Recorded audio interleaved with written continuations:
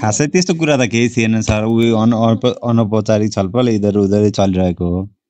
अब सर आउनु भएपछि कम्तीमा नि एउटा सेयर बजारसँग सम्बन्धितै कुरा गरौँ। पछिल्लो घटनाक्रम पछि पछिल्लो स्थितिकै बारेमा यसो अलमल परिन्छ क्या। बेला बेलामा अलमल यो अलमल परेको बेला चाहिँ गुरुको चासो हुँदो रहेछ। हिजो अस्ति अस्ति। यस्तो छ कि सर? यो इलेक्सन भनेको जहाँसुकै पनि जता हेऱ्यौ भने पनि यदि अप्सन मार्केट हुन्थ्यो भने सबसे धेरै कल र पुट दुवै अप्सन बाई हुने समय हो इलेक्सनको वरिपरि।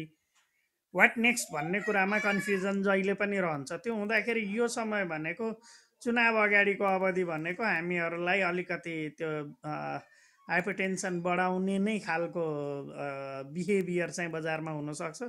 त्यो भयो भने त्यसलाई अन्यथा मान्नु पर्दैन जस्तो लाग्छ मलाई। र अर्को कुरा अब त्यो हरेक समय अपडेट भइरहेको कुराहरूमा भनेको सानो सानो चेन्जेसले के होला भन्ने हेर्नको लागि चाहिँ अलि डिटेलमा टेक्निकल एनालिसिस हेर्नुपर्ने हो। म चाहिँ टेक्निकल एनालिसिस नगर्ने फन्डामेन्टल्ली कसरी मुभ हुन्छ भन्ने कुरा हेऱ्या हुँदाखेरि मैले अरू केही राखेको छैन। मैले एउटा इन्डिकेटर राखेको छु त्यो इन्डिकेटरको आधारमा म ट्रेडिङ गर्नु पऱ्यो भने कति बेला गर्छु भन्ने कुरा हेर्दाखेरि जति बेला पेट्रोलियमको प्राइस डलर सिक्सटीको आसपासमा आउँछ र त्यो लेभलमा स्टेबल भएर रहन्छ त्यो बेला चाहिँ म आफू एग्रेसिभ ट्रेड गर्छु। एग्रेसिभ भनेको आफ्नो हैसियत अनुसारको एग्रेसिभनेस म देखाउँछु। त्योभन्दा अगाडि चाहिँ फन्डामेन्टल्ली त्यति एकदम स्ट्रङ भएर यही नै अहिले एकदम राइट टाइम हो ट्रेडिङ गर्ने भन्ने समय चाहिँ मैले देखाएको छैन। तर यदि लङ टर्म इन्भेस्टमेन्टको पर्सपेक्टबाट हेर्ने हो भने यदि हाम्रो इन्भेस्टमेन्टको होराइजन तिन वर्षको आसपासको छ भने चाहिँ सायद यो अपर्च्युनिटी चाहिँ योभन्दा बेटर अपर्च्युनिटी नदेखिन पनि सक्ला। यदि हामीले अब त्यो बिचको इन्ट्रेस्ट रेटलाई अब कन्सिडर नगर्ने हो भने भनेको इन्ट्रेस्ट कस्टलाई कन्सिडर नगर्ने हो भने योभन्दा बेटर अपर्च्युनिटी सायदै नभेटिन सक्छ जस्तो मलाई लाग्छ एउटा। अर्को चाहिँ अब त्यो इन्भेस्टमेन्ट अपर्च्युनिटी भनेको इन्ट्रेस्ट कस्ट जुन अपर्च्युनिटी कस्ट छ त्यो एक्ज्याक्टली कति हो त opportunity cost I don't know मैले सिम्पली हेर्दाखेरि के मात्रै हेर्छु भने नर्मल्ली दसदेखि पन्ध्र पर्सेन्ट यदि बजारले साँच्चीकै एउटा सिग्नल दियो भने दसदेखि पन्ध्र पर्सेन्ट बजार चाहिँ मैले किन्छु भनेर प्लान गर्दा गर्दै किन्न अर्डर राखेपछि अर्डर एक्जिक्युट नहुँदै पनि बढ्दिन सक्छ। भनेपछि मेरो लागि पन्ध्र पर्सेन्ट ब्याज लाग्नु र अथवा मैले किन्छु भनेर वेट गर्दा गर्दा गरेर अनि दुई डेढ वर्ष दुई वर्षको ब्याज जोगाएर अनि किन्छु भन्दा भन्दै पन्ध्र पर्सेन्ट बढ्नु मेरो हिसाबले एक हिसाबले चाहिँ त्यो उस्तै उस्तै हो जस्तो लाग्छ एउटा मेरो पार्ट अनि अर्को होइन घट्ला र किनौँला। ठिक छ घट्ला र किनौँला तर कतिसम्म घट्ने? घट्दाखेरि त घटेको बेलामा हरेकका मनस्थिति त्यस्तै हुने हो। त्यो हिसाबले चाहिँ मेरो बुझाइ चाहिँ अहिले अहिले तत्कालभन्दा पनि मैले मलाई लाग्छ जेठ असारतिर कुरा गरेको थिएँ कि जस्तो लाग्छ असार साउनतिर हो कि जस्तो लाग्छ। यो यो भनेको अब एकुमुलेसन गर्ने टाइम हो भन्ने त्यति बेला लागेको थियो र त्यति बेला त्यसै गरी गरेका थिएँ। अहिले चाहिँ अब यो रेन्ज भनेको तल माथि हुने अलिकति भोलाटिलिटी क्रिएट गर्ने अनि जस्तो बेच्न नखोजेकालाई पनि बेचौँ बेचौँ बनाउनलाई चाहिँ अलिकति बढेर घट्नुपर्छ। किन्न खोजेकाले आफूले बराबर किन्न नसक्दाखेरिको त्यो पीडा पनि एउटा पाटो रहन्छ किनभने लोएस्ट लेभलमा आउँदाखेरि किन्न चाहेर पनि किन्न सकिरह हुँदैनन्। अलि एकुमुलेसन गर्न चाहनेहरूले। त्यो भएर सानो भोलाटिलिटी चाहिँ हामी देख्न सक्छौँ र अहिले एकुमुलेसन फेजमा मार्केट छ जस्तो लाग्छ।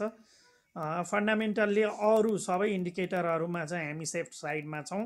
एउटा मात्रै हाम्रो लागि अलिकति अप्ठ्यारो सिचुएसन भनेको फरेन करेन्सी रिजर्भ हो। फरेन करेन्सी रिजर्भलाई अलि सहज बनाउन र मनी सप्लाई बढाउनको लागि क्रुड अइलको प्राइस चाहिँ नघटेसम्म त्यति सहज एकदम कम्फर्टेबल भनेको एकदम एग्रेसिभ बुल चाहिँ हामीले नदेख्न सक्छौँ जस्तो लाग्छ। मैले चाहिँ अरू धेरै इन्डिकेटर बनाएको छैन। एउटा मात्रै मैले क्रुड अइलको प्राइस र त्यसको प्राइस स्ट्याबिलिटीतिर हेरिरहेको छु र त्यसैमा चाहिँ अलिकति फोकस छु। त्यो मैले एकदम मेरो व्यक्तिगत कुरा भने है अरूले त्यही गर्नुपर्छ भनेर भने चाहिँ होइन। मेरो एकदम व्यक्तिगत कुरा चाहिँ यहाँ सेयर गरेँ। अब कोही पनि बोलेन। हेमन्त सरलाई एउटा जिज्ञासा राख्न चाहेँ। मेरो चाहिँ लाटो पाराको चाहिँ जिज्ञासा हो सर। जस्तै अहिले ब्याज दर बढेको बेलामा देशको प्रोडक्टिभ कामहरू एकदम कम भइरहेका छन्। व्यवसाय सडकमा उत्रेका छन्। भने अर्कोतर्फ चुनावको बेलामा पनि जुन हुने खर्च हो अब हुन त सेयर बजारको लागि ठिक हो पनि भन्ने गरिन्छ सुनिन्छ हामीले। अब यो चुनावको बेलामा गरिने खर्च पनि कुनै देशको चाहिँ फन्डामेन्टललाई राम्रो गराउने खालको खर्च त्यो पनि होइन फजुलकै हो। अब जाँड रक्सी खाएर भिउनी दु दुनियाँभरमा चाहिँ पैसा बाँड्ने यो सबै चिज पनि त्यति ठिक होला जस्तो मलाई लाग्दैन सर।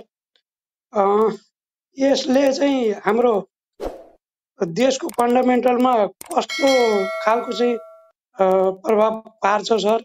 अहिलेको बेलामा जस्तै चाहिँ अब यो ब्याज दर बढिरहेको अब तपाईँको चाहिँ उद्योग धन्दाहरू चलाउन गाह्रो भइरहेको बेलामा चुनावले चाहिँ पैसा भागाभाग एकतिर खर्च गर्दाखेरि देशलाई कस्तो असर पर्छ सर भन्नु खोजेको? धन्यवाद। Thank you Vishnu sir. सुन्दै हुनुहुन्छ है? ओके। सरले उठाउनु भएको कुरा दोस्रो कुरा छ। म दोस्रोबाट जान्छु अनि पहिलोमा जाउँला दोस्रो कुरा छ त्यसले वित्तीय क्षेत्रमा व्यथिति चाहिँ निम्ताउँछ त्यो कुरा सही हो। तर हामीहरूले अहिलेको तात्कालीन अवस्थालाई हेर्ने हो भने हाम्रो ठेट झर्रा भाषामा भन्ने हो भने मुतको तातो भन्छौँ नि। त्यस्तै तातो खोज्नको लागि चुनावमा गरिएको खर्च चाहिँ त्यतिसम्मको तातो चाहिँ त्यसले बजारलाई दिन्छ। त्यस पछाडि के हुन्छ त्यो अब हामीले फर्दर भन्नु नपर्ला। भनेपछि त्यसले व्यथिति चाहिँ पक्कै पनि निम्त्याउँछ। तर सँगसँगै यो चुनाव र खर्चलाई हेर्दाखेरि दुईवटा कुरालाई हेर्न सकिन्छ। एउटा चाहिँ अनौपचारिक क्षेत्रमा भएको थुप्रेको पैसा चाहिँ बजारमा गएर फेरि त्यो औपचारिक क्षेत्रमा आउँछ भन्ने मान्यताका आधारमा त्यसलाई हामीले पोजिटिभली लिनुपर्छ। आयो भने। है। तर अनौपचारिक क्षेत्रमा थुप्रिनै नदिनु अथवा त्यो पैसा चाहिँ गलत बाटोबाट आउन नदिनु पनि एउटा हाम्रो सामाजिक दायित्व हो। त्यो कुरालाई हामी अहिले थाती राख्ने हो भने यसले चाहिँ व्यथिति निम्ताउँछ आयातलाई बढाउँछ। त्यो कुरामा सरले भन्नुभएको कुरामा म कन्भिन्स हुन्छु। यो दुईवटा कुरा बाहेकको तेस्रो पक्ष हामी हेर्ने हो भने फिनान्सियल सिस्टमलाई चाहिँ अलिकति भए पनि स्टिमुलेट गर्छ त्यसलाई चाहिँ अलिकति सक्रिय बनाउन सहयोग गर्छ भन्ने अर्थमा हेर्दाखेरि त्यसलाई नेगेटिभली लिनु पनि पर्दैन कि जस्तो लाग्छ। अब ब्याज दरको कुरा आयो ब्याज दर अब हामी कहाँ त मैले आजभन्दा एक वर्ष डेढ वर्ष अगाडि कुरा हुँदाखेरि क्लब हाउसमै म राम्रैसँग अलिक स्टेटमेन्ट अलिक खरो स्टेटमेन्ट राखेँ